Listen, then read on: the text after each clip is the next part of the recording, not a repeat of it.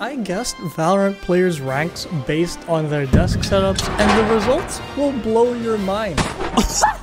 I'm sorry. With the plastic chair always gets me, dude. It's like you spend so much on your setup, PC or whatever, but the rest of you... Holy! This dude is probably high elo for sure. It's Dream. Why does he have, like, two headphones? I have one here and they have one here. I'm calling this Diamond 2. The worse the setup is, the higher the rank. Man, gold one actually disappoints me. Look at this. This one's really aesthetic. Is this Firewatch? They have a stream deck. I just bought a stream deck, actually. What do you guys think this is? Do you think this is above gold?